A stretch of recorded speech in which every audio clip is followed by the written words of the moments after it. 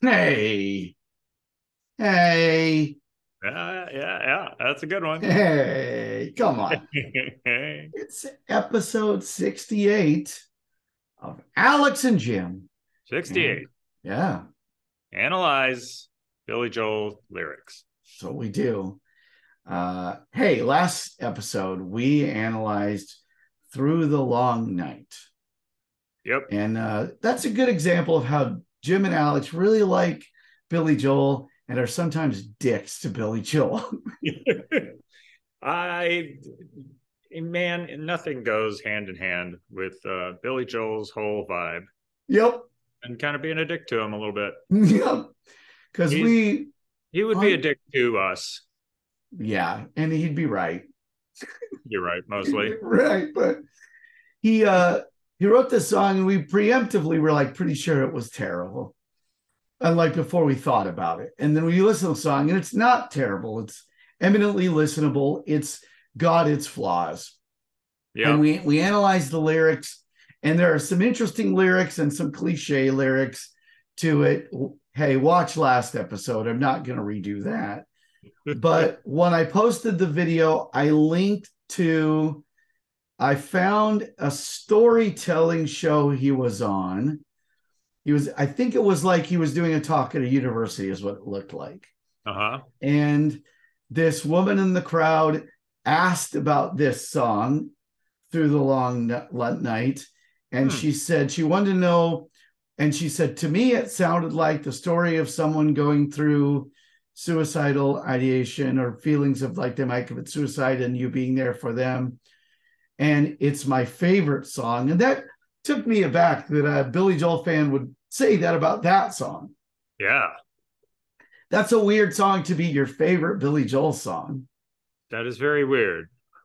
but that is a testament to the way music works and the way Yeah. art art works in a particular like that hit her she didn't say it but i'm like yeah, i bet she was like went through a thing where she thought about it I'll bet she did. Or she went through a thing where uh, a different song was her favorite song for a long time.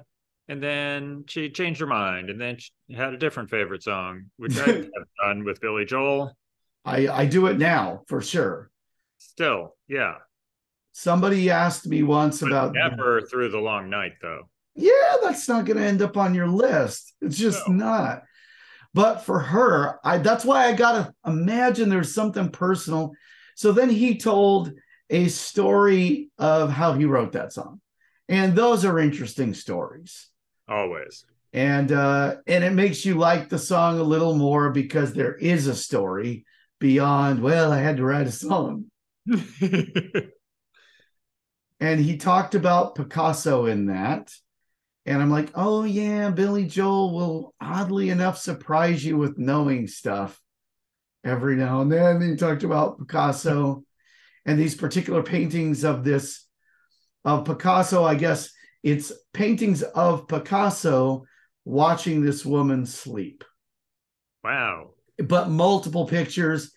And he said sometimes he would paint her like she's a bird or a frog, or he was trying to remember. And he goes, and then a very Billy Joel funny thing to go. He said, he says, they're not flattering pictures. yeah. But it was interesting because I was like, well, damn it, that's what it is to be such a fan. If you're a real fan, every now and then you'll realize, oh, I like this song. And it ain't one of his greats, but I like it. Yeah. Like I like Ballad of Billy the Kid, but I know it ain't good. no. And it is no, it will not help you on Jeopardy because it is not accurate. yes, but I like it. And as I said at the time, it's a great state commercial, but it's just, I don't know, I just like it. yeah, and man. yeah, it was just funny to hear and realize. Well, our show is could be called Two Old Cranks Analyze Billy Joel Lyrics. Yeah. Who better? Yeah, Statler and Waldorf Analyze Billy Joel Lyrics. Three old cranks. one one of them's Billy Joel. That's right. Three two old cranks analyze an old crank. That's right. It was just very, very funny to me that uh and this woman of course was young and earnest Yeah. qualities i possess neither of those qualities anymore I feel like you are pretty earnest. yeah that's nice Yeah. to say Yeah, that's true. Okay well it's kind of You're very you're not very sly. all right Pretty I'll straightforward. i'm a straight shooter is what i'll say Yeah, yeah, yeah. here's the deal by the way straight shooters don't actually tell you they're straight shooters Right. So when someone does, look Yeah. out. Yeah, because it is one of the variations of, hey, can I say something rude to you without consequence? Right. I tell it like it is. I tell it like it is, which means I still like saying the N word. Can I do that because I'm honest? or any number of variations of, Right. of Hey, hey. what's wrong with saying the truth about the Jews, man? well, sir. yeah. I was talking to this about a friend of mine. I'm like, with a friend of mine. First of all, Dave Chappelle, Ugh. if if you're on NBC, a preeminent network, you can't say anyone's stifling your free speech. They just aren't. No, especially when it's like your third time hosting the same show. And if you're making $60 million from Netflix, no one's stifling your free speech. They just aren't. They're just not. Yeah. They are criticizing you, which you're not exempt from. Right. That's You're- the thing with the straight talkers and the free speechers. Yeah. Don't want to be contradicted. Yeah. And I'm like, well, I'm I'm very sorry, but that's the other side of the free speech coin that you like so much. You are allowed with your free speech to ignore them. You're allowed to do, you could just do that. Yeah. Well, and a lot of a lot of comics do that. They're like they don't engage so good. Like Bill Burr doesn't really engage that much unless he's got a joke about it. He's not relentlessly whining about his free speech. Right. He's He's- like, I say something, eh, people don't like it. That's fine. Yeah, Great. That as it should be. yeah. But I'm like, eh, you know that thing where you reinforced uh, racist tropes against Jews within the confines of your jokes? Yeah, that's still anti-Semitism. It just is. It is. Yep. Yeah. And also, can we stop deciding who whose suffering is the most? God damn it. Fucking Oh, a- tiring. Yeah. I mean, there's probably cases to be made yeah. for whose people suffered Yeah. the most. But um, are you the rep? yep. No. Debatable. We can all just kind of go, all right, look, who I don't know who suffered the most. It wasn't the Swedes. Can we just we'll just say that. It wasn't the Swedes. They didn't suffer the most. Yeah. Okay. And and the That's enough. Swede and the Swedes will go, you right, we're fine. Doing pretty good. It's a little chilly, but otherwise great. Great health care, great life expectancy, and how too small to go to war with. yep. No, not us. Probably Yeah. someone else. Yeah. Yeah. Just irritates me because I'm like, he's a good comic. But then there's times when I'm like, can't we all just be mad at the low quality of that particular premise? I don't want to be mad at that sometimes instead of the other stuff. Also exhausting to have. I don't know how what he did, like twelve or fourteen minutes at the very top. Ninety percent of it perfectly fine, good jokes about other stuff that we can all agree on. Yeah. Make some cuts, man. Yeah. It's the uh it's a victim complex. Like Yeah. I, I gotta say something controversial so people will be mad at me and then I can uh, be a victim. You don't have to be a victim, man. Yeah. Be actually being a victim of something is no good. Yeah. Why would you seek to pretend to be one? It's it's brand victimhood. That's what it is. It's brand victimhood. Oh, I'm a genius. That's actually good. It is brand victimhood and it is on fire these days. Yeah, it's yeah. I- This is how I sell my tickets is by complaining about how no one will let me sell tickets. Mm-hmm. no one will let me be president. You just were. yeah. Uh, he did this because I announced my run. No, you knew this was coming. Yeah. Although him, eh, he's not one to even have an opinion about. Like, oh, I can't believe he's doing. You can Yeah. believe it. You can believe all of that. Yeah, no. None of that's surprising. It's the J, the Dave Chappelle thing is annoying only because he's not a terrible person. No. That's what, like he's a person who could be talked to. That's what you get mad at that because it's there's value in finding that frustrating. right. Right. There's hope. Yeah, there's like a person like that could learn. He probably won't because he's rich and will never meet me. But and and anyway, I'm nobody's solution anyway. But uh, I mean, the thing is, he won't. He might learn. He won't change because it's working. It's yeah, working. yeah, He hosted. I'm sure the ratings were great yep, um, relative to I don't know Keke Palmer. sure, Um, yep. And he'll get more Netflix specials and stuff written about him. It Yeah. works. I thought of this example because it's a perfect example of the hypocrisy and lie of the whole thing. Bill Maher, who is a piece of garbage, um, Thanks.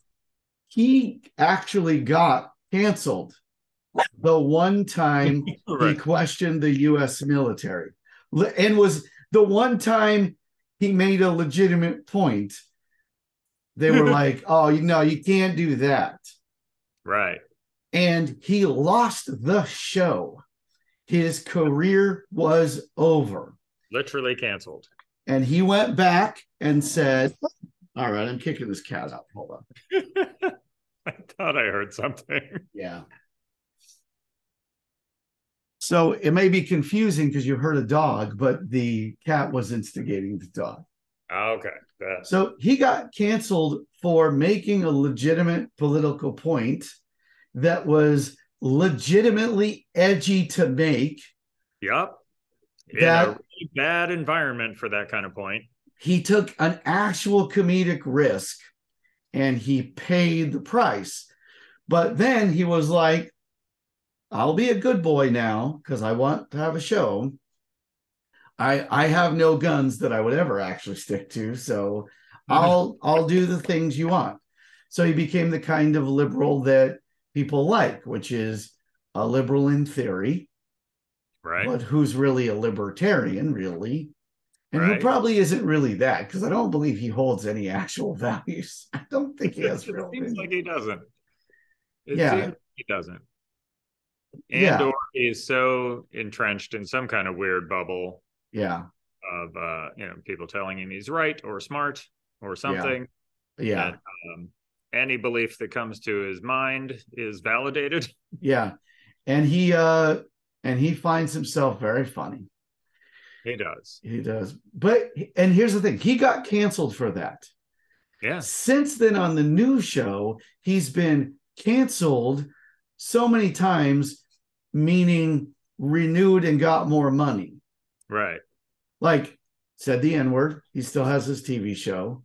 Yep. Uh he's transphobic. Yeah. I'm never surprised that an old white guy's transphobic. That's fine. I get it. No, You're- he's quite Islamophobic. Islamophobic.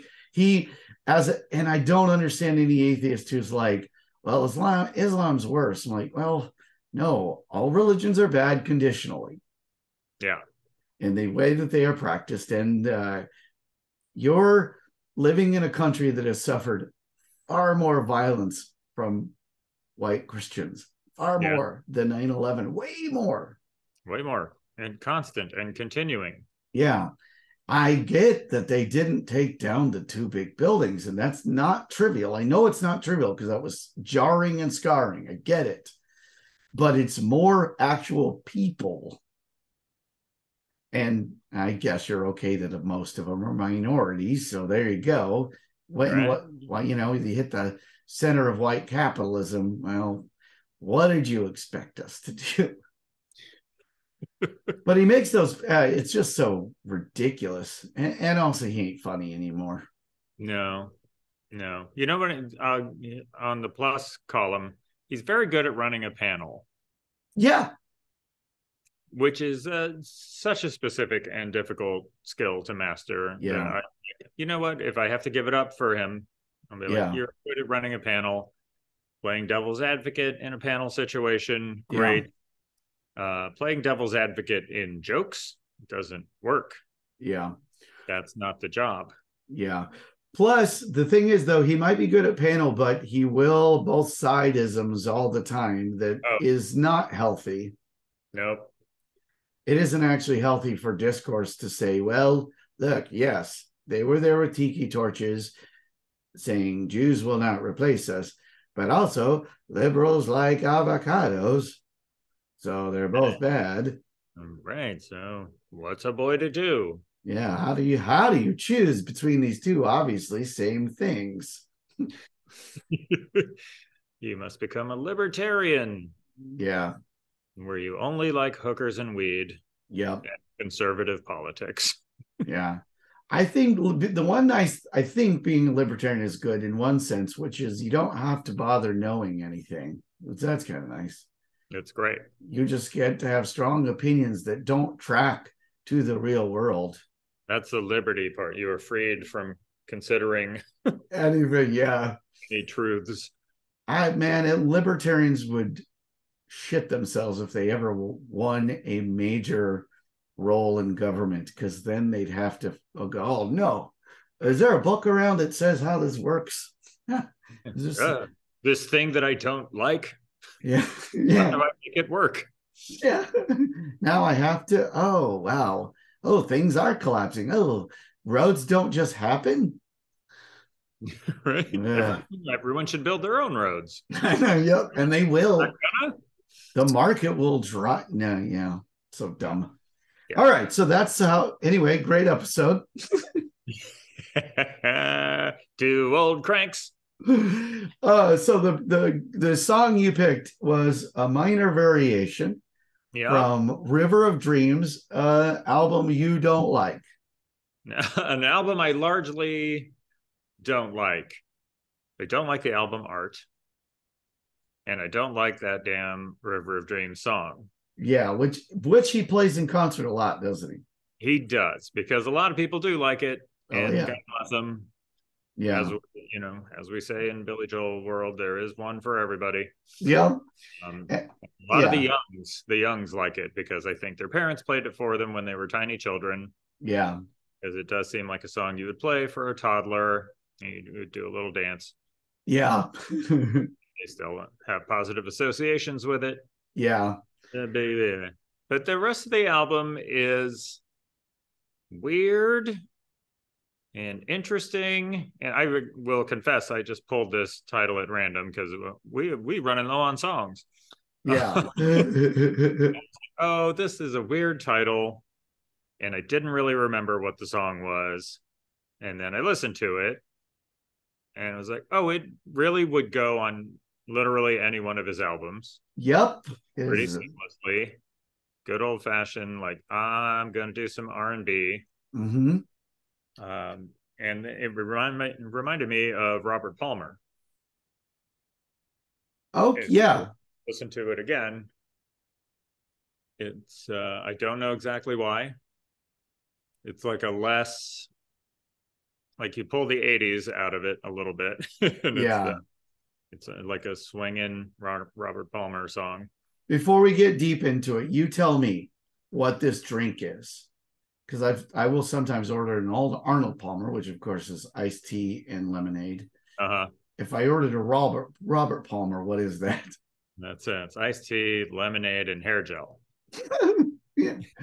You know what? I'm gonna send this back. I thought I'd enjoy it more. too viscous. it's, yes, that's too Uh-oh. viscous for a hot sunny day or of a winter drink. yeah. That's, oh yeah, in the winter you have it warm. Serve it warm. It's really good. What? uh, so there's a couple things I thought about immediately, which is this is a good example of a song where I don't like the fade out. Oh And yeah. this has the fade out. And the reason I don't like it is because you decided to make a blues song, a blues R&B kind of song Well, those songs don't fade out. They if you don't. if you were adhering to the genre, they close. They, They they're close. they're wrapped They- up. Interesting, cool music. You know, usually the musicians get a little Yeah. spotlight to wrap it up nicely. Yeah. and it and it felt to me like listening to it i was like it almost feels like he was on the verge of figuring out an ending and just stop because he does a what? at the end he does that to say hey i'm blues i'm blues today and and uh and maybe it was a thing we've we've speculated before where the engineer went eh, let's just fade that out because when he's doing the the yell and whatever. But it's even he's at a better age to do the yell because his voice has gotten gravelly by this point. He's a little older, hmm so it works. So I'm like, you should have written an ending. So there needed to be the fade out doesn't work for me, and I I think I'm right about that. It doesn't ruin the song, but I think I'm right about it. Yeah, that sounds right to me. Unless he was really going for Robert Palmer and did like, oh, I'm going to make it fade out like a radio hit. Oh yeah, I And- doubt. yeah. I don't think so. And man, that's an unreasonable amount of Yeah, Optimism. to Peel back that many layers. Well, it's unreasonable to imagine this song was going to be a radio hit. So that's Oh yeah, that right away is a fade terrible out. title. Yeah. It had blues yelling, lots of trumpet, Uh huh. Great. lot, lots of trumpet, which I don't mind, which actually might have also contributed to the Robert Palmer feel. oh, maybe. Yeah, I think I get that because that's what because in an R and B song, is there that much trumpet really? A proper. R and B song? In and there. Yeah. Yes. So I didn't certainly didn't hate the song. Um, it's perfectly fine. I listened to it more than I usually do. I did some homework, I guess. I listened to it a few times trying to figure out what the hell I think about this? Yeah. and Uh, uh, I found that I would try to listen to the words and then I just couldn't. And I was like, oh, I'm just enjoying the music. well, that's a good thing, right? Like, wait, whoa, what is he talking about? Yeah. But it turns out in a lot of those blues songs, doesn't much matter. yeah. You're just The- enjoying the music. To me, the best blues slash R and B songs are just when the lyrics are about visiting a lady downtown. I was like those songs where someone's going to some lady's house and she's nice to him. yeah. Or, you know, I found uh I used I really liked blues uh, in like college era. And I bought a blues album and then I bought a second blues album, which I realized is completely unnecessary. you only need one. yeah. Oh, by the way, apropos of nothing, I was thinking about the fact that my exposure to Billy Joel started with the Chipmunks, you know, Chipmunk Punk. You know, uh, you may be right. And then it occurred to me that in the in the Chipmunks uh story, they're a big band, you know, like they're huge. Right. They have all these fans. And it dawned on me that the part that makes the least sense is no cover band is ever that popular. They don't do any of their own songs. Did their like groupies have a name? oh, that's so good. Oh my god! And there's like adult women who remember when they had sex with a chipmunk. All kinds of Netflix documentaries. Yeah, I I was the one girl who had sex with Theodore. and they just immediately got married. Yeah, yeah. that's right. He met, he's the guy who did that. First groupie he fucked. Of course, because it's Theodore. He was the Sure. bassist. I think Theodore. Theodore was was he the drummer. You know, you're in over my head. I know there's one named Alvin, and I only know because he gets yelled at in that one song. Yeah, it's Alvin, Theodore, and uh Satchmo. uh, no ladies. Yeah, there's no ladies in that group. No. There are although the Chipettes eventually formed and they did that. There's a word for it in when you make a character a woman who's always been what's there's a word where you instead of creating an original character, it's I think it maybe it's called putting a bow on it because it started with Miss Pac-Man. oh, maybe. I like that. Yeah, because it was just like, how is she a lady? Just because she's wearing a bow. All right. Bow. And a mole. She's got a mole. That's right. and uh, and uh, she's sexy, I guess, which I always found troubling that people are like trying to say that. Hmm. And she would like if she was on a date, she'd only eat like one ghost. want to look like a pig. Yeah, and then she wrap up these other ghosts. Can I take she, these home? She keeps picking at the ghost you ordered. You're like, just why order. did you get Pinky? Yeah, I ordered Pinky because that's what I wanted. Ugh. Yeah. You got Inky. Why don't you have Inky? But she's easy, so you come out with her again. Yeah, no. Oh, it's, it's the bow. It's the draw of the bow. The bow, yeah. uh, so it had blues yelling, lots of trumpet and fade out is what I wrote down. A lot of yell, a lot of yelling in this song, a minor variation. And it wasn't as cliche in the lyrics. We'll get into that, but it wasn't as cliche in the lyrics of constant references to music stuff that I was anticipating. Right. No, just the one. Just That's, the title, I guess. That was a nice surprise, actually. yeah, it was. It wasn't like, oh, she's real sharp and on yeah. face. Uh, yeah. yeah. She doesn't play in my key or whatever. Yeah. yeah. Um, blessedly. Yeah. Although, if we know Billy Joel, first draft was probably a lot of that. Yeah, I'm sure. And somebody had to talk him down there are times when I'm like, I think it's optimistic and mad to imagine there's a second draft on some songs, but yeah. yeah. I would love to know. Oh, the other thing I uh through the long night, part of what he said to the woman who liked the song, he goes, Are you Irish? And she goes, No. And he goes, Because it's very Irish. that made me laugh because I'm like, it's not Irish just because you said the word Irish in it. I think we talked about that. So I'm like, yeah, it's like that's very funny to me because I'm like, oh no, that song is wicked Irish because you know how Irish people will constantly say I'm Irish. They'll imply it real heavily. Oh they yeah. don't usually just say it. They usually yeah. don't have to. Yeah. if there's also great that he wrote an Irish song inspired by Picasso. Yeah, that's true. Uh, By the way, I'm looking right at the album art right now that you hate, and I'm like, yeah, there's a lot going on in this damn album art. That's uh although here's something that maybe is charming about it that just dawned uh-huh. on me looking at it, which is like some of what's here looks like it's from other songs of his. Like mm-hmm. one of it, I'm like, is that Allentown over there? And is oh, that the Downeaster Alexa out there? Oh, that yes, gotta be. And then, wow, yeah. those people are just having sex in the woods. Uh, good for them. That's Adam and Eve. But so I don't, I don't remember the volcano song. That's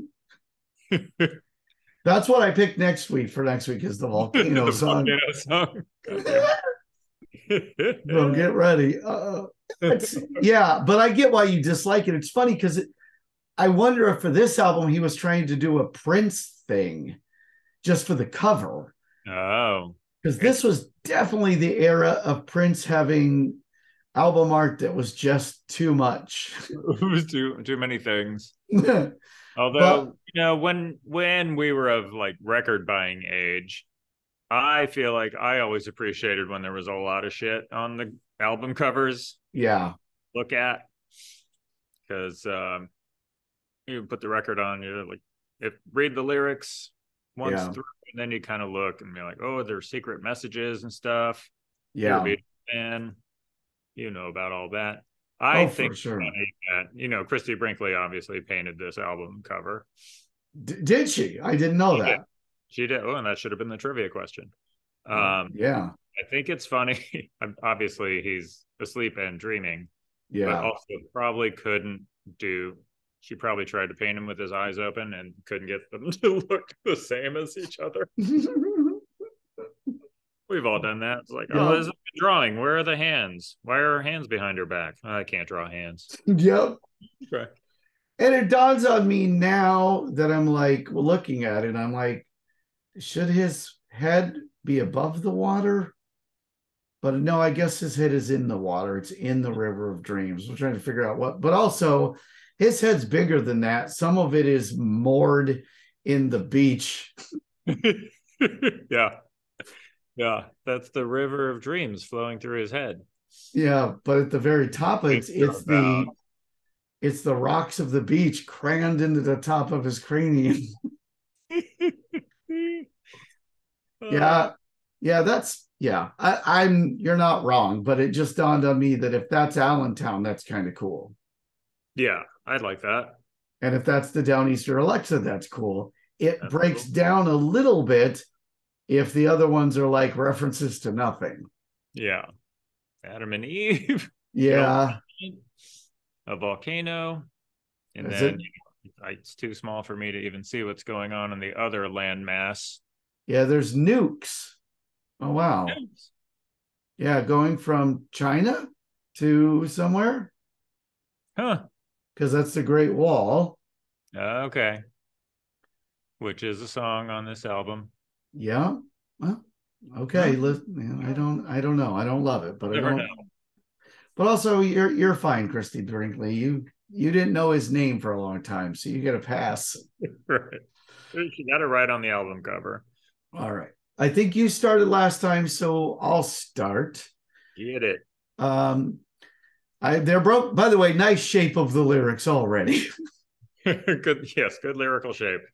Some days I have to give right into the blues, despite how I try to keep fighting.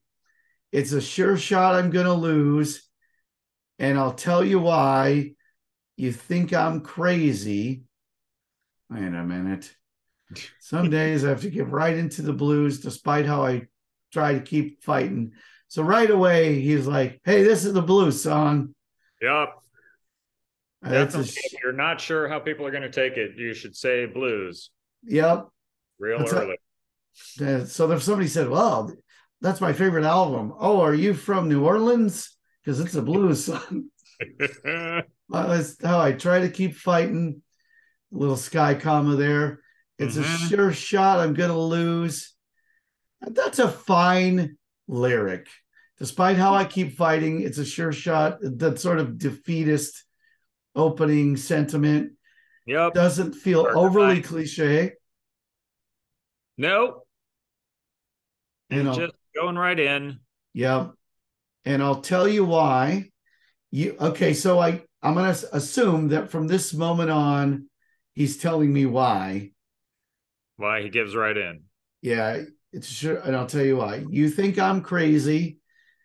It's such a sad composition. No, no, there's a part of the music thing.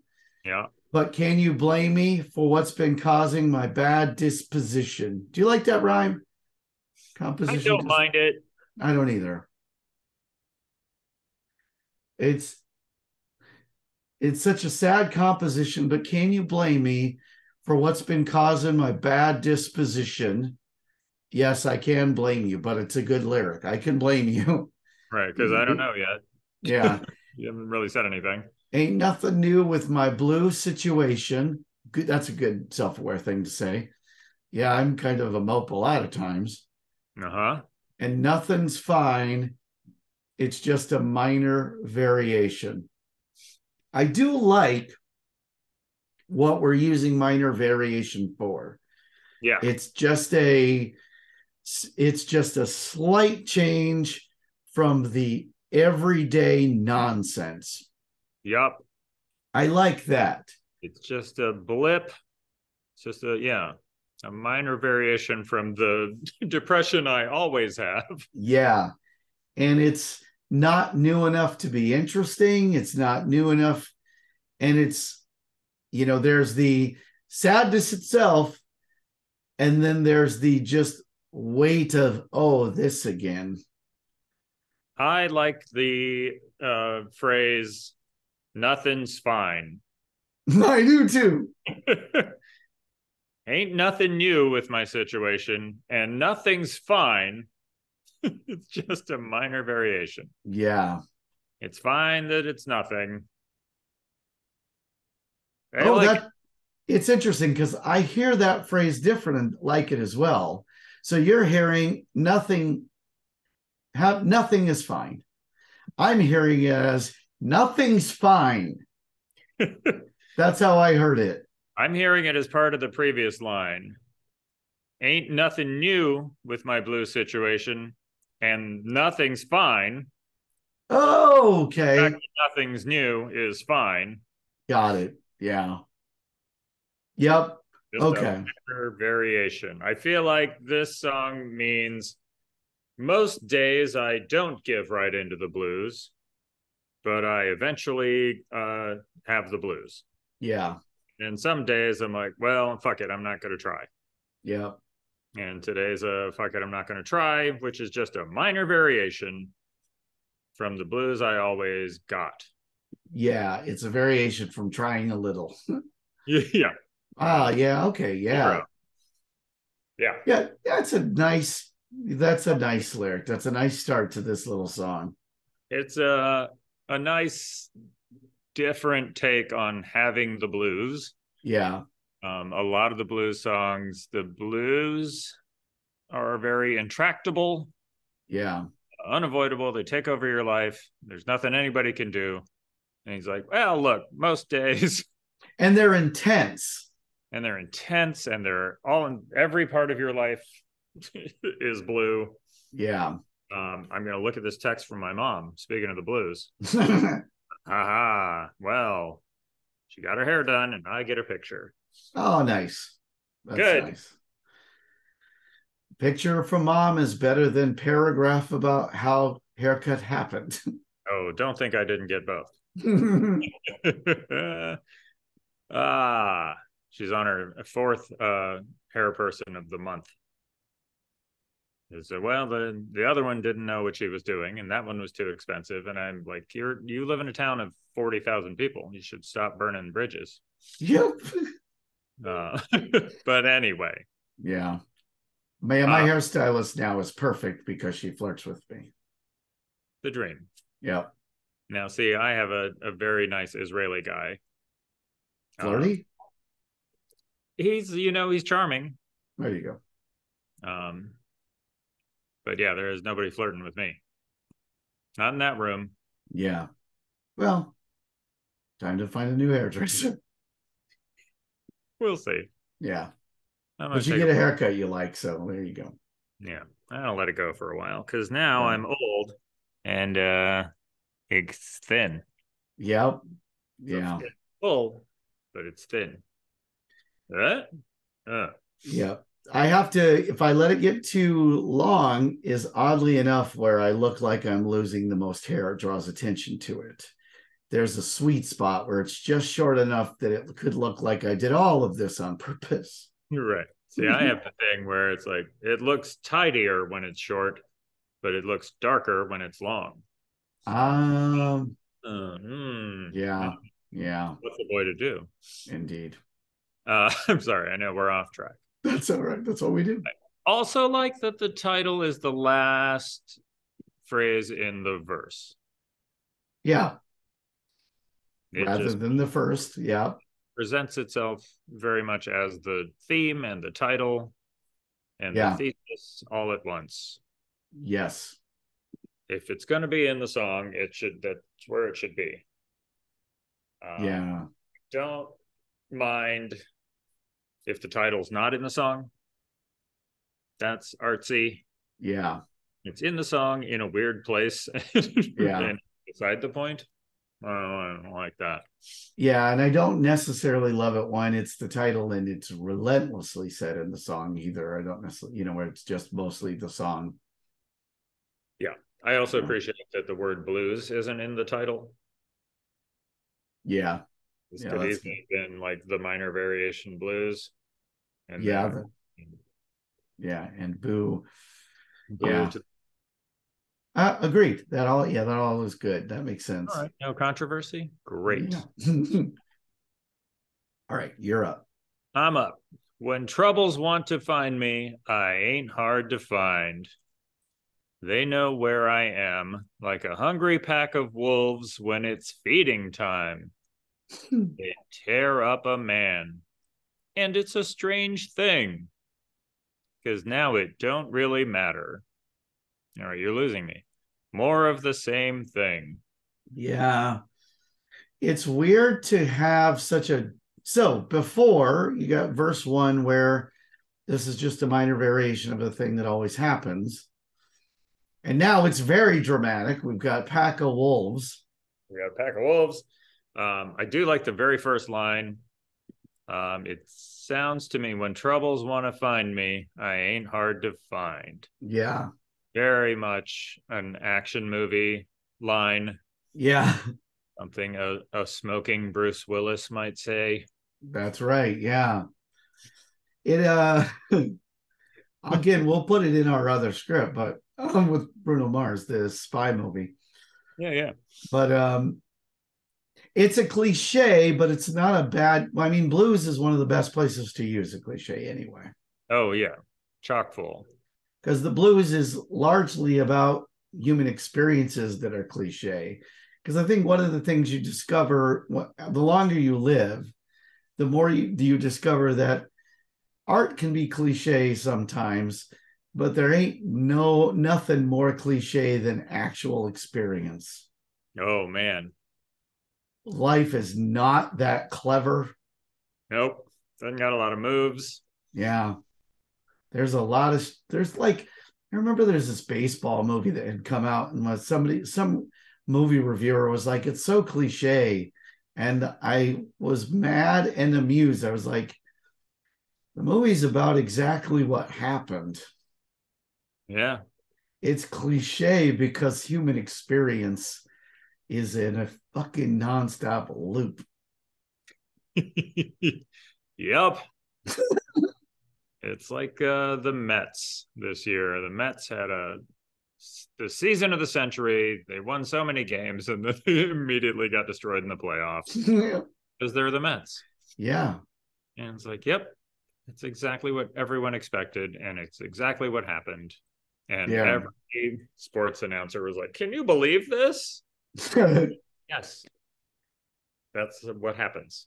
Can you believe they did the thing they always do? Gosh, yeah. Didn't see that coming. Yeah. Uh, yeah, hungry pack of wolves. When it's feeding time, are these zoo wolves? Yeah. Well, and it's a ah, trouble knows where to find me, ain't hard to find. They know where I am. Hungry packs of wolves don't necessarily know where food is when it's feeding time. So I guess because you're a bloody open wound and they could smell the blood. Because otherwise it doesn't make a lot of sense. Because wolves are wolves are known for messing you up. Yeah. And I guess their smell sense of smell is pretty good, but it's that's not really what they're, they're not really known for. Like, man, they would man, if you can't get away from a wolf, that's not really what they're known for. I bet it is, you know, a very good blues predator. yeah. you know, you couldn't do hyenas. Yeah, true. It had to be like you know the blues is uh, an American art form. It had to be an American predator, like a get rid of hungry pack of wild boars when it's feeding time. Uh, there you go, because that's pretty American, and also they don't. Nobody said nobody talks about how violent they are. Those guys right? are dicks. They're flying under the radar. Ooh, wild boars, they get a pass. I don't know why. I don't know why, because they're short. Yeah, that's probably what it is. If, hey, if anybody should be canceled, it's Wild Boars. Right. Thank you. Finally saying it. Yeah, I'm putting it out there. They've got away with it for too long. They tear uh, up a man. And the other thing that I don't necessarily love about the Wolves thing, because it sort of implies a wound you ain't recovering from. Ah. And that's not a minor variation. No. I'm not sure. anyway, getting a little blurry in the middle. Here's what I don't like: is these lines that don't quite mean anything. Like, and it's a strange thing because now it don't really matter. More of the same thing. yeah. Yeah, I, just Okay. Lines. if this had meaning, and it's a, that's you know no not a given, but if it did, I could see it meaning, man, things brutal, bad things can happen, but at this point, so many have happened that whatever, it's the same thing. So I could Right. see that, but I I more think it's just a place filler. But yeah, But hey, it don't even hurt. It's been part of the pattern. Still in all, it's a small consolation. I just define it as a minor variation. okay. From what, bro? This this doesn't sound like a variation. Yeah. So I what what it could be. I'm so beat down that this case of the blues doesn't even affect me. Yeah. So then, is it a case of the blues, or is it the your state of being? Yeah. Well, and I also think, and I just define it as a minor minor variation, is I mollify myself by telling myself it's a minor variation, and it suggests that maybe it isn't. And that could be good. Not sure. But but I could see that as being good if it was a little more clear. Um, Yeah. But it's hard to make it clear because in it's poetry, right? It's a song, and you can't add another lyric to just just to clarify. It actually really does suck. But I'm telling you can't do that. So you got to I don't hope know. You gotta stay in character. you got to find the way to to deliver that message within you know within you know within the tiny pack you've got yeah Hmm. Hmm. i don't hate it I don't hate any of it. yeah I just want to know what's happening. yeah yeah what we mean is it because it's it very much maybe just about feelings Yeah.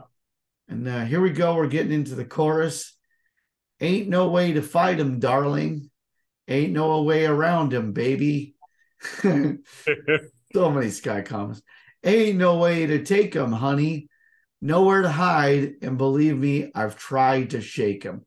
Actually pretty good chorus. Actually, really good. I love the way that part is sung. yeah.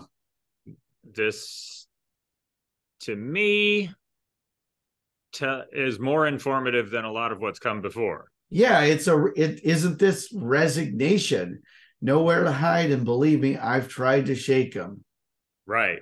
This is like, I'm resigning.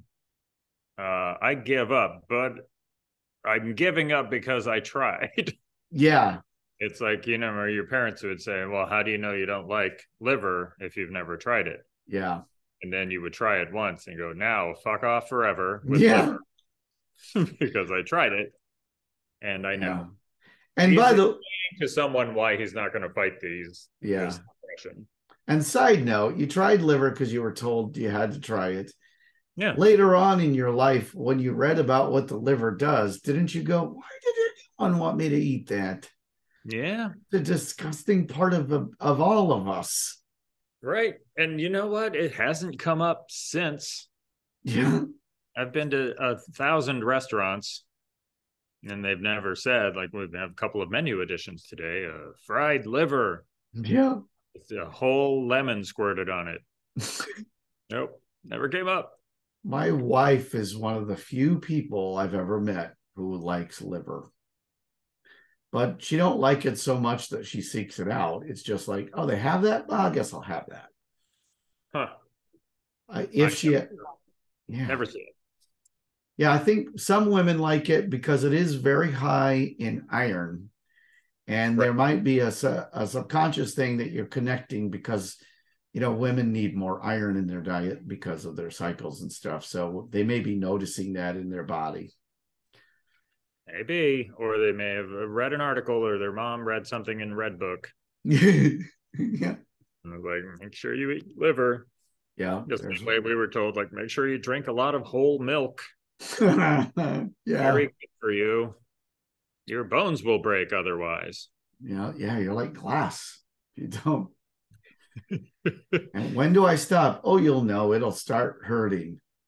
That's when you stop drinking the milk, is when it Yeah. hurts. when you have to lie down for three days after a glass of milk. Yeah. You were like, why did I indulge in a glass of milk? Damn it. Because I've done that as an adult. I haven't had milk in a long time. Oh, yeah. It's, yeah, that's why. it's thicker than I remember. It's, uh, it's made for baby cows who need to gain 400 pounds in a year. Yeah. Ah, ah. And and for Huns who are looking for an advantage. Huh. Yeah, that was one of their one of their big advantages was they could digest milk. So Attila the Hun and his hordes could have an animal that was both a pack animal and they could milk it for food on the way. Right. Okay. And then it was a weird. It uh, there are so I don't know if you, people who say yeah that's why he won, along with being just brutally effective, but right. they- right. he had this amazing advantage because it meant he could travel long distances and get by on very little. Huh. Yeah. The oh, So listen, Guns, you Germs, and Steel is a fantastic book. what is? Uh, it's a book called Guns, Germs, and Steel. Oh, okay. with it. It's uh, a hundred stories along those lines about weird small advantages that different societies had throughout history Oh, right. Very cool. that all have led to why the world is the way it is today. That's fantastic. I remember reading about the advantage this one society had. Can't remember who, who it was, if it was the Greeks or whoever, who first had clear glass. Yeah, First people to have clear glass had a real leg up on everybody. yeah, That's yeah. so a lot of things you never think about. It's really great. Yeah. Like uh, I don't know what country it was, the nuke country. What who was for yeah, yeah. You know, the, the country that had the nuke. The nuke. Uh all right. And nowhere to hide and believe me, I tried to shake him. That's pretty good. That's pretty good. That's the the point. All right. And all right, you're up. You get a whole chunk again. Is it me again? I think Well, I yeah, the last one. It's you, bro. All right, I guess it is. Well, I did chorus. So yeah, I'll do this and then you do chorus at the end. Okay. I'm getting to the point where I don't feel the pain and I've had enough. I'm ready for the next time it hits me again. Man, that's very defeatist and pretty great in a way. It's, uh, argumentatively defeatist, yeah. which Yep. feels very Billy Joel to me. Like, I'm going to make the case for my hopelessness. yeah, come on, Yep. come on. Because I've gotten tough. It doesn't faze me. And now I've made my decision. I may be crazy. He's speculated on being crazy in multiple songs, hasn't he? He really has. It's not as though I don't know that condition until I'm through with this blue situation. Don't Mm. like condition into situation. No. Pass me the wine. I do like that. I like that. And that is one of the, that's a phrase Billy Joel has said outside the confines of a song enough that it belongs Oh, yeah. here. Inside the confines of a car. yes. Yep. He said that to a passenger who went, Let's just wait till we get to the restaurant. Two more exits. Come on, Bill.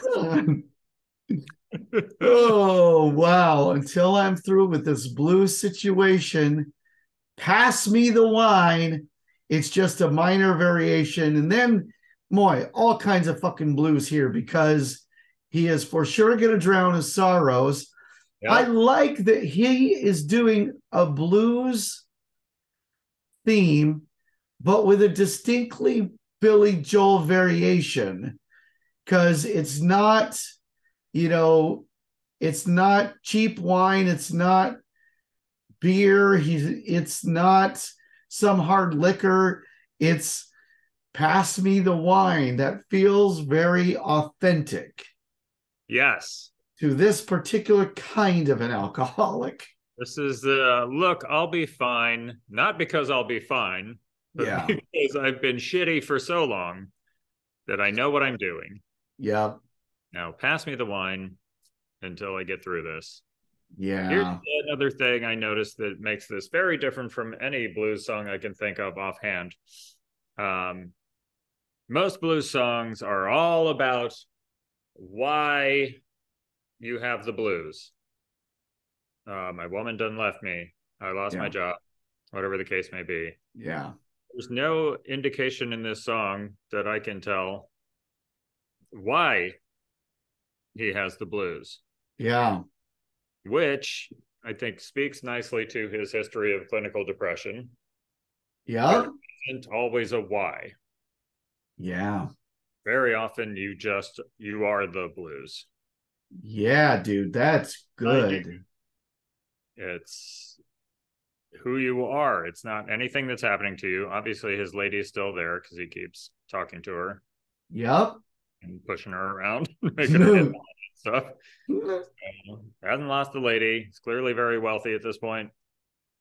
It's inside him. And so Yeah. the discussion is not how I got these blues. It's like, how bad is it today? Yeah. Can I take it or not? And I'm going to say it's bad today, but it really ultimately it's just a minor variation. So, in other words, it's always pretty bad. Yeah. The day's extra rough. So, stop asking me questions. There isn't a reason. That's actually quite lovely as an observation because it really does speak to a unique thing this song offers, which is what you want, you know? Yeah. You want a song to offer, you know, at best, you want a song to offer a little something different than a song offered you before. That's Especially, all. I think if you're going to write a, another blues song into Yeah. the verse, Yeah. what's your fresh take? Yeah. The blues is so cliche as far as the way it happens that even joke blues songs are cliche, where you're like, yeah, people have made that joke about blues before. Yeah, That's how we all understand it. It's the same with country music. It's like when country music is cliche, everybody knows the cliches to the point at which pointing it out is a cliche. yeah, no. The cliches are what uh, it's for. Yeah. Yeah, right. That's where they live. So yeah, so you can go gang, gang, gang, gang, and everybody goes, okay, I know what we're doing. yeah. We're sad about some stuff. yeah, it is quite, you know, there are bumps in the lyrics, but the overall theme, the what it is about, it's not even about, yeah, you're right, because it's less about what it's less about having the blues and more about what the blues are. That's Yeah. cool. That is cool. The degree of the blues. Yeah. Yeah. yeah. Um, It's- that it was always uh in old blues songs it's very like you have the blues or you got over the blues because you got your woman back yeah. they, it was uh not bipolar what's the Yeah. other thing it was oh uh it was a duality it's just like a simple duality where you yeah. you either have them or you don't Oh yeah. Um, of the degree yeah. Binary. frequency binary thank you it was Yeah. binary um this is about the degree and the persistence and the duration Yeah. not the cause Yep. And maybe even a good recognition. I was talking to I, talking to our friend Graham L. What do you know, Graham? Um, and we are talking about half the problem sometimes is just we we're talking about anger and how anger is a secondary emotional lot because underneath there's trauma or hurt or whatever. And the big problem is not the anger, even though it feels like it is. The big problem is being able to recognize a root cause. And this is an acknowledgement that, well, whatever is going on, this is just the way it is. And that's pretty depressing in a good way, in a good, like, yeah, that belongs in a song. That belongs in a song Oh, for yeah. sure. Yeah. Yeah.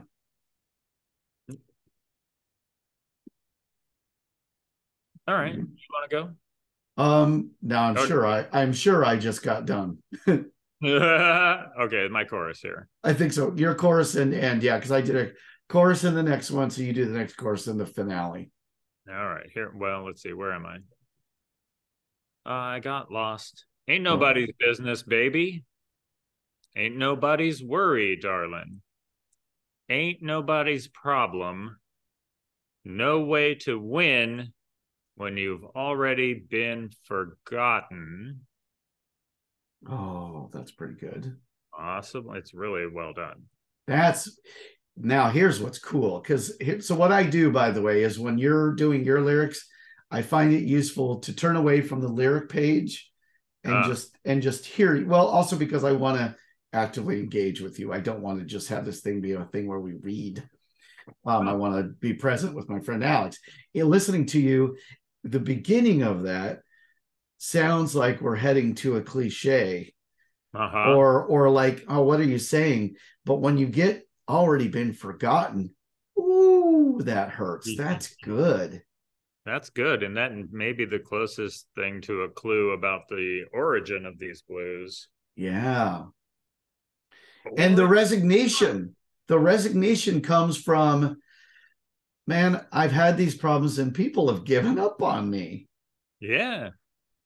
That's fantastically sad. That is great.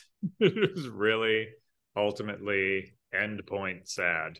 that's really good. I'm glad you picked this song because it's better than we knew. It's pretty good actually. I think so. Um ain't no no way to win. Yeah. Uh, when you've already been forgotten. Ugh, yeah great. Yeah. I don't know if yeah, I don't know if it's like, oh, he started to get depressed because everybody forgot about him, or did everybody forget about him because he's been depressed for so long? yeah and there's definitely kind of matter. and there's a screw you i'm not reaching out Yeah, there's definitely that Ooh, that's definitely that. The whole song has been a little bit of like, I'm not reaching out. I'm telling you, Yeah. I'm very depressed. I'm more depressed today, but that's just a minor variation from my usual depression. Ain't nobody's business. Don't worry about me. you ever been on the phone with a friend. Yeah. You ever been on a f- phone with a friend when they're depressed or whatever, and you're reaching out and they make it very clear that they're not going to participate in the reaching out because they're just mired in it.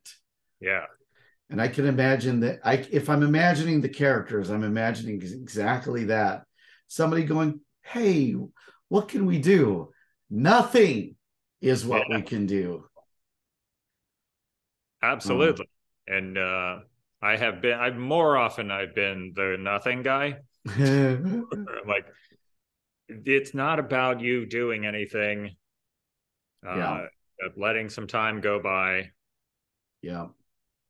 Yeah, I can I can relate to the the character in this song who's like, look, man, Yeah. stop worrying about me. I get it. Thank you.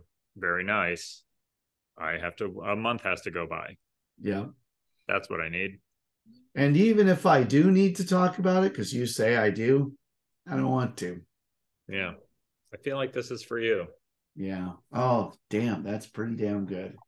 Ooh, all right. Good Woo. job, Billy Joel. That's great.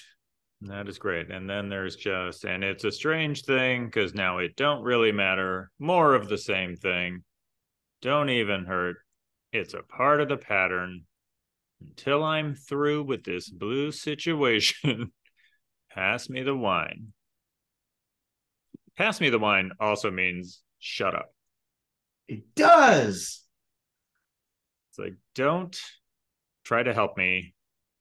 Give me the wine and leave me alone. This is not for you to solve. This is for me to endure. Here is here's one of the things that's wonderful about these lyrics. You start reading the lyrics at the very beginning, and you're like, I don't know what this is about. He never expressly tells you what it's about, but at the end, I know exactly what it's about. That's really good. That's good writing. Yeah. Like, oh, the it was there all along. Yeah. Damn, I did not expect to feel this way about these lyrics. Right? I didn't either. That's Um, nice. It's the key for me is that it is nothing about why he's blue. Yeah, And that's fucking great. it is. And the man, any of the things he could have told us he was blue about would be cliche or funny on accidentally. And he's a smart enough guy to know that, well, first of all, he actually had an agenda in his songwriting here. He had a thing to say, which you're right. It's about clinical depression too. It's Yeah. about long term systemic issues. Yeah.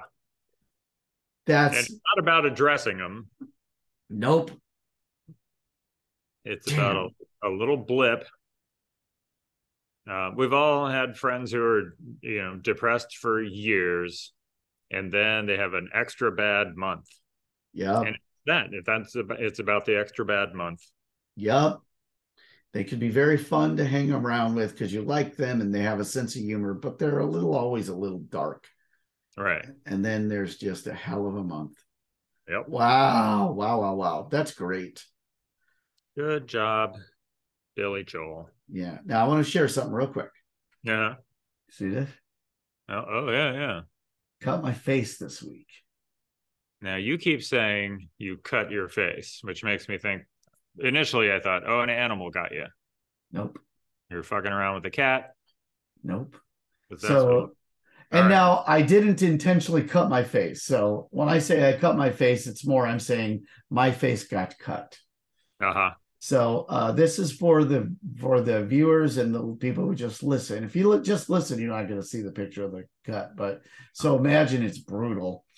Um, but it was cut on my face, and I would love for any listeners in the comment section, tell me how I cut my face. Oh, You tell me the story, and you know, obviously, you're just going to be making it up, and I'll tell you if you're anywhere close. okay. That's pretty good. This one was just shaving. That's no good. But this one was not shaving. I'll tell you that much. Ooh, boy, this is a memorable, memorable part of my day. Yeah. Wow. Okay. And it's not that deep. I don't think I'm going to get a scar, but I will. I will be honest with you now. If this scarred, I would not be disappointed. This would be a great. No, that's a good. That's good placement. yeah, this would make me so much more interesting than I am. yeah, that's uh, okay. I won't speculate here on the air. So I don't No. want to. I don't want to taint the jury pool. Yeah, and I because you're a uh, employee of the company. You're- not eligible. Yeah, you're not. Yeah, by the but the contest. By the game show laws set up in the Senate, I believe. I do think it's funny Yeah. that there are Oh, game show show. laws. Quiz show. Fucking Yeah. ruin everything. Uh, the, by the way, it's talking about weird laws. Uh, third month of November. Uh, what happens according to the French law? In the, in the third week of November, I presume. Third week. Third week. Sorry. Yeah, third week. Uh, according to French law. Yeah. Wow. Um, I don't know. Is that when they review the language and cut words? That's a good guess. It is the by French law and tradition when Beaujolais Nouveau is released. Oh, I should know that. I had a neighbor who um, would always get many, many uh, cases of it. Oh wow, that's weird to be that big a fan of Beaujolais Nouveau. It's not that great. It It's fine. It's perfectly fine. So for our fans at home who love it when Jim talks about wine for a second, um, what's interesting about the wine, I think it's funny that there's a law and it's very French to do that. I think that's wonderful. There what it is is is it's uh, Beaujolais Nouveau means new grape, more or less, is what it means, Right. and it's a first harvest wine. And you know that a good wine, of course, is aged. By this wine is meant to be made and drunk more or less immediately. It is what it is Yeah. as a way of celebrating the harvest and that you know spring is coming. That's Yeah. why. and it's it's like uh, fruit punch almost. Yep. And it is an absolute crapshoot. You know, any other wine, they do things to get a result. Right. This is where they go, well, this will be a wine. There you go. Good luck to you. Yeah. You feel like trying it at home, do it quick. It actually does work really well with a turkey dinner. So Oh. if you I know a little bit about wine, it actually pairs really well with turkey because it's not too big. So lay lay in a case. Yeah, get yourself a case. It's never very expensive. That might be the other reason your neighbor liked it because, like, a really good one is twelve ninety nine. Great. Because if you charged a lot for it, I think I'd want to fight you. Yeah. Why, what are you doing? Because what you because you had grapes that makes it a nice wine. That's not good No, no. wine making. See, I love that also every country in Europe, I think, has some version of uh, just a cheap ass dirt wine that's Mhm. actually pretty good. Yeah, because it's it's a cultural thing. Well, we need to have a glass of wine with pizza, so we can't be opening up the hundred year old Bordeaux. Oh. So if you go to Portugal, they have uh, this wine called Alvarinho. Oh, And I you love get- Portugal wine. It's a green. It's a green Ooh. wine. It's a, Oh, technically a white wine, but it has a little green tint because it's so brand new. And it almost tastes like champagne that went flat. Um, it's lovely. And everywhere you go, you can just say, like, you have green wine, and they'll be, ha ha ha, yeah, here you go. that's fantastic. Glass. Great. I have had that. And you can get it here, and you can't spend $10 a bottle. Yeah. Try. and it's really good. Yeah, it's if uh, if you're new to wine, or if you have you're on a budget, get wine from any country that you know makes it okay, but isn't known for it, Yes. because it does the price doesn't get jacked up. Yep. If you get wine from Hungary, it's perfectly nice wine. It's under ten bucks always, Yeah, or around here, like upstate New York has a lot of vineyards. and they're perfectly good. But yeah, But yeah, nobody's like clamoring for Ithaca, yeah. Ithaca wines. California went through. Oh, it's cheap because we don't, you don't know it's good, and then they commercialized, and now they can charge it just like a French wine. Yep, Australia did the same thing. It Yeah. was cheap for a while, and then people were like, "Oh, the- the secret's out." Yeah, uh, Aussie wine only white as far as I'm concerned, and Shiraz. Not interested in oh. their cabs or merlots. Fair enough. Yeah, I don't think they do those grapes particular justice, but a Shiraz they knock out of the park. The very smooth transition into our second podcast. yeah, Alex and Jim analyze uh, Billy Joel lyrics while drunk. uh, dude, I'm now not now I ain't against doing that once. That'd be pretty funny. I for the right song, we'll have to when we have the perfect song. Yeah. Oh Lord, that's pretty funny. Well, listen, Ah, and I will give you one hint right away. okay. Uh, whatever the appropriate phrase is to describe this, just flip it. Just flip the phrase backwards is pretty much about right, and you got the song. huh. Do you recognize any of the hats? I feel like it's uh they're very like Queen Elizabeth. They're uh queen queen hats. Hat queen Okay, where are they at? Where are they located? in a in a walk-in closet. That's right, they're in a I go, closet. walk, I go walking through the okay, it's a river of dreams. I go walking in it. No, no, it's a walk-in closet. It is a cl- yeah. It's uh. Let me find the lyric. Let me look at the lyric. Uh, okay, it's two words. It's two words from that song. Oh, it's So- two words. River of dreams. No, so let me give you a hint. Uh-huh. Um, It's not walk-in. who does who does that cl- closet belong to? Queen Elizabeth. Right. So it's the Queen's closet, closet queen. Oh yeah, There we go. uh, it's uh to just uh, Captain Jack. Captain Jack will get you high tonight. Yeah, with your closet queens. Yeah, Is that now actually the Queen's closet? it is. Wow. It's it's one of the queen's closets. Um, and it does it, yeah, it looks weird. It looks low rent. It does. And that de- and I was like, that's weird, but it also doesn't surprise me because I'm sure it's a utilitarian place to keep things. Right. Because there's all of the parts of Buckingham Palace that are Buckingham Palace, or I'm wrong and the photo's mislabeled. Entirely possible. But yeah, she probably isn't like rooting around in the closet herself. yeah, that's what I think. And and I love the and I recognize quite a few of the hats. That blue one I remember her wearing, Sure. and all those damn parasols. Is that what they're called? Or Umbrellas? umbrella? Yeah, umbrellas. Bumbershoot? it's The bumbershoot. It's a nice it's nicely organized for being so damn full. But it very much feels like a rich person's closet because how many people are like, well, I need an umbrella for this reason, Like a rich person's closet or a pretty well off person's entryway, Yeah, just absolutely. like by the front door. Just because they want you to see it. Yeah. Hmm. Oh, yeah. 12 umbrellas. You're pretty fucking rich. Oh, somebody's got 12 umbrella money. I, I guess you had $120 at one point. Yeah, I, I mean, I got six umbrellas, but I can never, I could never afford that many umbrellas.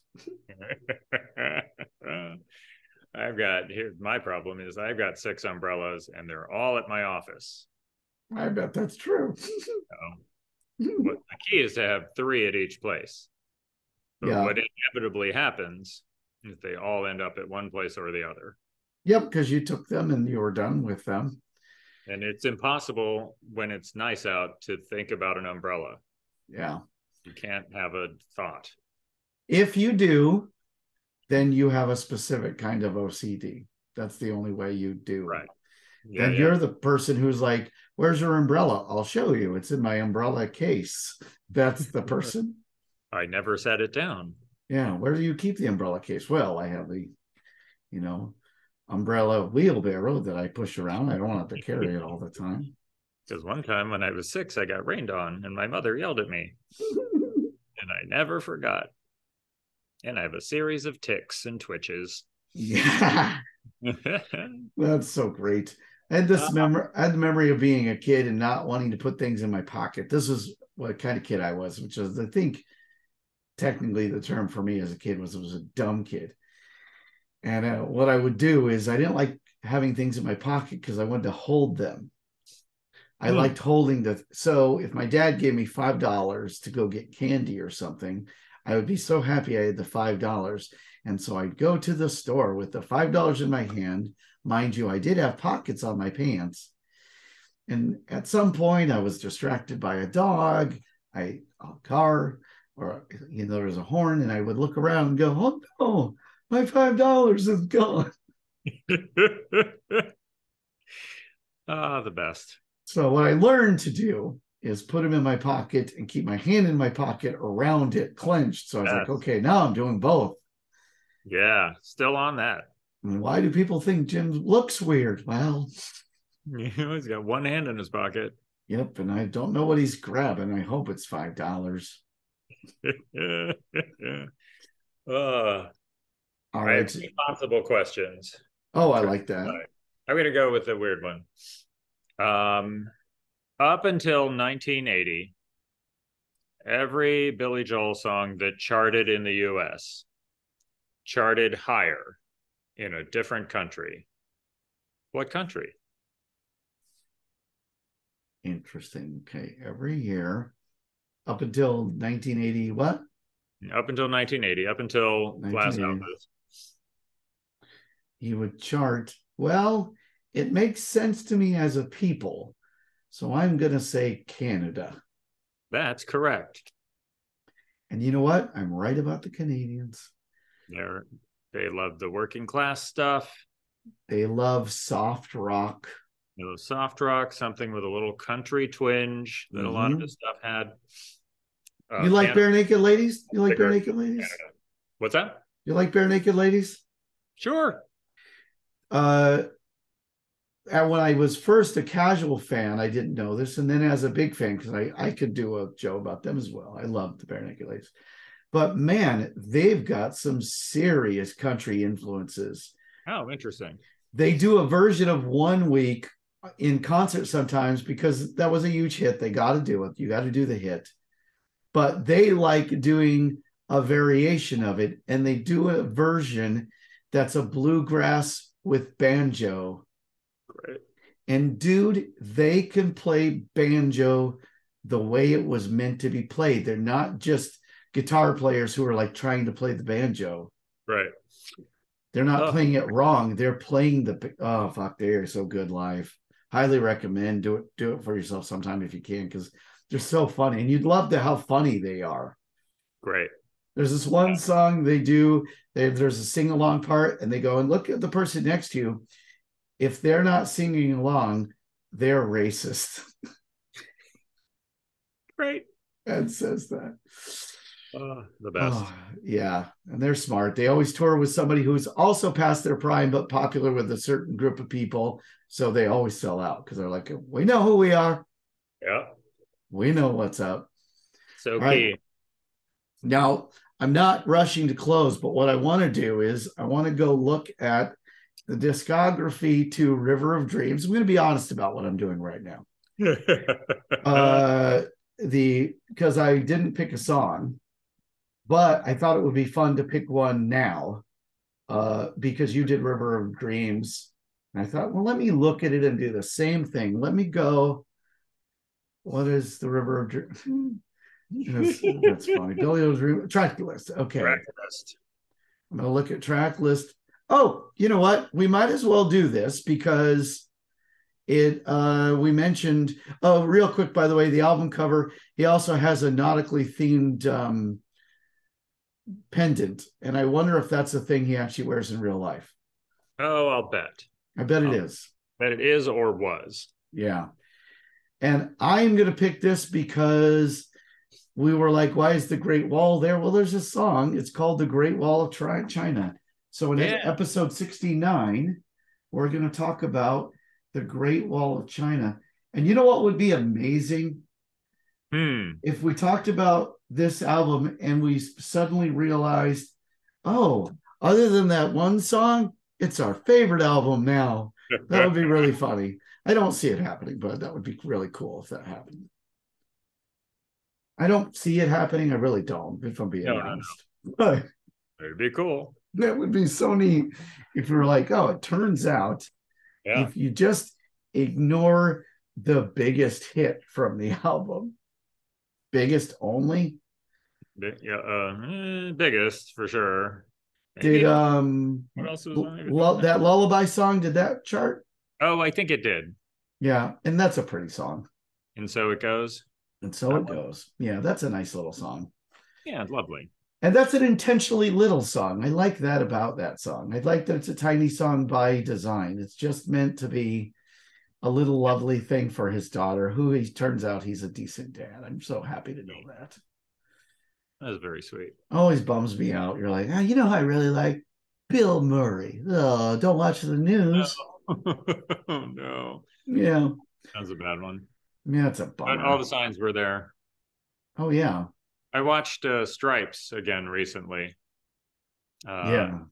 with Sue, and uh, we were noticing that he's just an awful person. The character Yeah. terrible, and it, he's just an asshole for no reason, irredeemable, doesn't learn a single thing. the military guy i i i i like it when it turns out who you identify in a movie changes because it's pretty funny because you're like Yeah. military guy's right you joined the military you idiot Yeah, lives are at stake yep. You can't pull this shit. i'll give empathy to john candy's character because he struggles with an eating disorder Just wants to be liked. and they let him in. In real life, they wouldn't let him in at that weight. That just That's wouldn't have happened. So True. they did something wrong. So that's their fault. But Bill Murray, no, you're my friend. My friend Chad Jeffers joined the military. It's lovely. My friend Chad was a good is a good dude. He's still with us. I just haven't seen him in many years. But uh, he always liked. He's a very funny dude, just quirky as all hell. Just about as he yeah. very the best kind of Mormon. Just very friendly and easygoing, and just laughs about a lot of things. Told the story when he was going through basic training. He's being yelled at by the sergeant because that's what they do Mm-hmm. And he can't help but start laughing because he's remembering all these movies he's seen. uh, great. And the sergeant goes, Private Jeffers, the hell are you laughing at? And he goes, Just happen to be in the army, sir. He goes, All right, give me 60 push-ups. and the way he tells it, he enjoyed the whole thing because he was just like, like I'm in the movies. Oh my God. Great that guy, I've seen Chad, he's, you know, about my age. There's not a single year on his face because of who he is. Yeah. He's just that guy who's like, this all, is all whatever it is. Yeah. And he, I'm not going to share the bad stuff, but he's had things happen like you do. Oh, yeah. And on the other side of every single one of them, he's like, I'm Chad Jeffers. I'm okay with life. Yep. Mormonism is the only religion that I know is not true, but I've sometimes thought I could maybe still do it. they seem very happy. When I was young, if I'd have been single, I probably would have.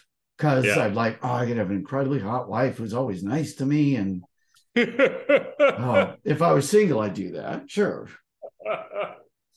it's true. I, everybody, every, we'll all have these little jokes and we'll all sit at the dinner table nice with each other. Oh, this is great. And I, she won't tell me to take out the trash. Yeah. Well, Very I mean, good. She's, pro- she's definitely going to be the kind of wife who sits on your lap while you listen to music and just cuddles. I like best. that stuff. um, religion. I don't deserve it, but I like that kind of stuff. uh, that is, what, by the way, the theme of our show. We don't deserve it. What's better than getting something you don't deserve? Nothing. Well, I tried. See, I didn't get it right.